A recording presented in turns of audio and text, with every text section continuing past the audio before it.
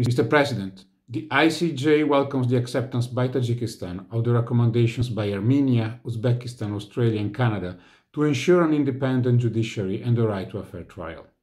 Yet, the ICJ notes that despite multiple judicial reforms, the judiciary in Tajikistan is not independent.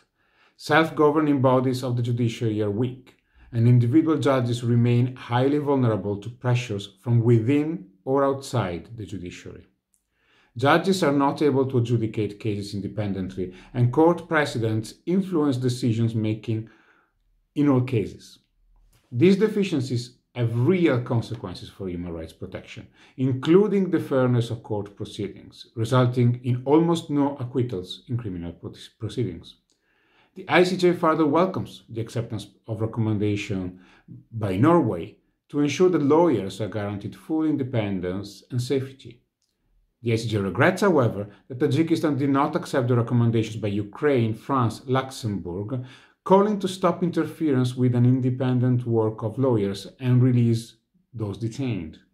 In practice, lawyers are often facing harassment for carrying out their professional duties.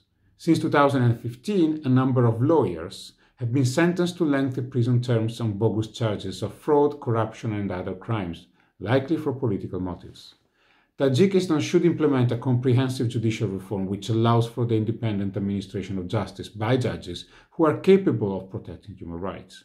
Lawyers should be able to carry out their professional duties without intimidation, hindrance, harassment, or improper interference. I thank you.